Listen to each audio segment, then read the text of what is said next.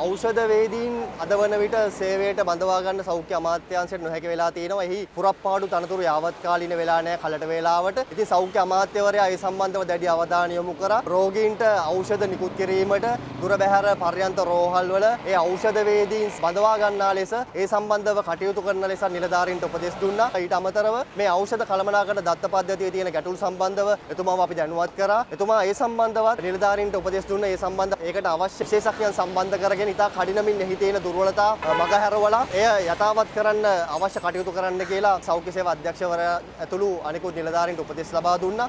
මේ අතර ජාතික ඖෂධ නියාමන අධිකාරියේ හිටපු ප්‍රධාන විදායක නිලධාරී වෛද්‍ය විජත් ගුරසේකර මහතා අත්අඩංගුවට ගැනීම සම්බන්ධයෙන්ද ඔහු අදහස් දැක්වුවා.